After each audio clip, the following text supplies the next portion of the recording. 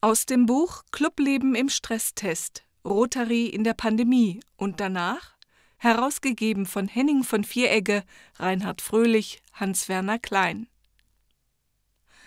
Weltpräsident Holger Knag riet dazu, als Rotarier sich gesellschaftlich zu engagieren, als Rotary freilich sich zurückzuhalten. Ist diese Unterscheidung eine überzeugende Antwort auf die Frage, wann man im Club die Reißleine ziehen und sich von Mitgliedern trennen sollte? Wenn diese nach Auffassung anderer Clubmitglieder sich ethisch zu angreifbar verhalten haben? Ist diese Unterscheidung eine überzeugende Antwort auf die Frage, wann man als Club, als Distrikt, als deutscher Governorrat oder gar als Rotary International sich politisch engagieren sollte, vielleicht sogar Partei ergreifen müsste, wie es Rotary International im Ersten Weltkrieg beispielsweise mit seiner Parteinahme für die Alliierten getan hat, es angesichts der nationalsozialistischen Herrschaft, angesichts des drohenden Verbots der Clubs aber unterließ? Es gibt keinen eindeutigen Königsweg, aber ich glaube schon, dass in der DNA von Rotary ein gewisses Maß an Zurückhaltung, ja Enthaltsamkeit enthalten ist. Das Modewort heißt Ambiguitätstoleranz, deren Schwinden wird allenthalben konstatiert und als Verlust an demokratischer Substanz beklagt. Die Fähigkeit nämlich, ohne selber werte- und meinungslos zu sein, um des freundschaftlichen Umgangs willen sein Ego, das auf Unzweideutigkeit drängt, zu zügeln.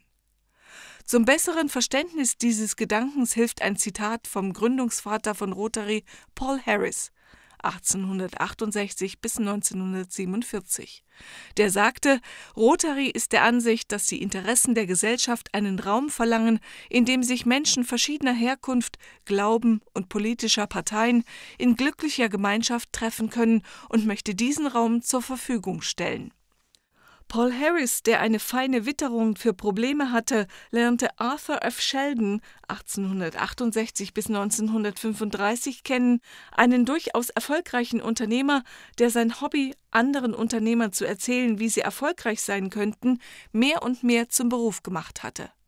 Harris fand, dass Rotary sechs Jahre nach Gründung eine Neuausrichtung brauche, weg vom rein selbstbezogenen Agieren, und er sah in Sheldon den geeigneten Verkünder dieser Umpositionierung. Beim zweiten Treffen aller nationalen Clubs in Portland, Oregon 1911 wurde in Abwesenheit des Urhebers sein Referat vom langjährigen Generalsekretär von Rotary, Chess Perry, vorgetragen, wobei der Satz He profits most who serves best Beifallsstürme ausgelöst haben soll. Zwei Zitate als Reaktion. We simply had the cart before the horse, Rufus Chapin. Und Caveat emptor, möge der Käufer sich in Acht nehmen. Sei somit überwunden, rief ein anderer. Für uns heute ist es gar nicht einfach, die damalige Begeisterung nachzuempfinden. Es ging um das Wort Service. Das kannte man eigentlich als Gottesdienst oder als Dienst am Vaterland. Sheldon übertrug es in die Arena der Ökonomie. Was bedeutet dies bei einem Autor, der Fachbücher unter dem Titel The Art of Selling oder The Science of Successful Salesmanship publiziert hatte. Die Rotarier sollten nicht länger nur Geschäfte unter sich, sondern mit allen machen. Dabei sollten sie die Kunst oder gar Wissenschaft erfolgreichen Verkaufens beherzigen.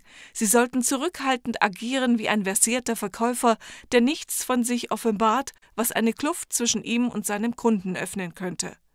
Jeder Mensch ist ein potenzieller Kunde. Agiere respektvoll und fair und halte dich in allem, was die entstehende Beziehung stören könnte, zurück. Das zahlt sich letzten Endes auch für dich aus. Die Wirkung dieser Argumentation sollte nicht unterschätzt werden. Schließlich war und ist Rotary im Kern eine Gruppierung von Menschen aus der Wirtschaft.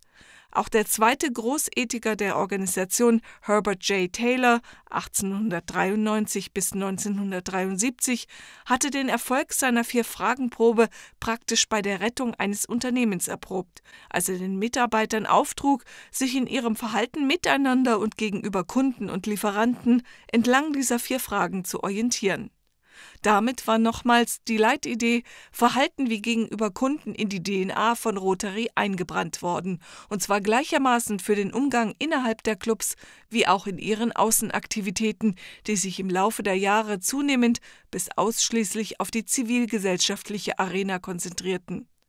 Auch hier sollte derjenige, dem geholfen wird, davon überzeugt sein, dass es um seinen Nutzen geht. Eine Organisation, die sich dieses Verhaltensmuster aneignet, also nicht nur deklamiert, sondern danach handelt, hält sich weltoffen und ist somit mit guten Argumenten gegen Nationalismus, Rassismus und andere Ideologien ausgestattet, deren Wahrheitsobsessionen stets nahezu zwangsläufig die gute Absicht in böse Praxis umschlagen lassen. Zugespitzt wurde dieser Ansatz in der noch einfacheren Formel Service above Self seit 1989 das Hauptmotto von Rotary. Es bedeutet nicht jeglichen Verzicht auf Eigeninteresse, das wäre irreführend oder überfordernd. Aus dem Buch Clubleben im Stresstest Rotary in der Pandemie und danach herausgegeben von Henning von Vieregge, Reinhard Fröhlich, Hans-Werner Klein.